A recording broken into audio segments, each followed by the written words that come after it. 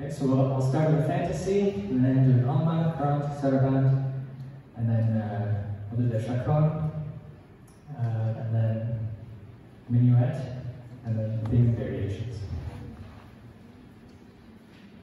Okay, so wish me luck.